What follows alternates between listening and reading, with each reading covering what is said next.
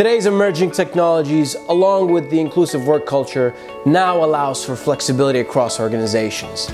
Did you know that the number of companies with a remote workforce has been consistently increasing over the years? It was reported that in 2019, 66% of organizations allowed remote work. Remote work means being able to perform your job duties outside of the office. But there's a lot of advantages with remote work. It saves a lot of time, money, and contributes to an employee's well-being and happiness.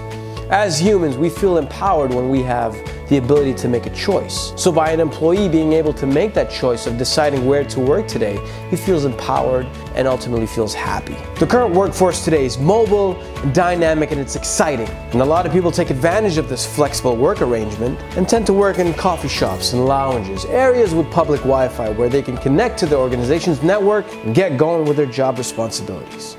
But unfortunately, this advancement comes with a price, information security. In 2018, it was reported that 14.4 million consumers were victims of consumer fraud and identity theft. Now, we may not be able to eliminate the risk entirely, but we can manage it. The following six tips are easy and applicable ways to protect yourself when connected to public Wi-Fi. Avoid using free Wi-Fi. If you notice that the Wi-Fi is password protected, ask the vendor for that password. I'm sure they'd be happy to give it to you. Avoid handling sensitive information such as banking and processing social security numbers when connected to these public networks. Use a VPN, which is short for Virtual Private Network.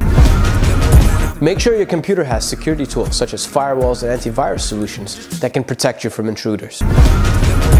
Most cell phone providers offer hotspots, which allow you to connect to the internet using your phone as a Wi-Fi device. And number six, when making financial transactions online, avoid using your own debit card and rather use either a credit card or even better, purchase a prepaid card. I hope these tips help and thank you for watching.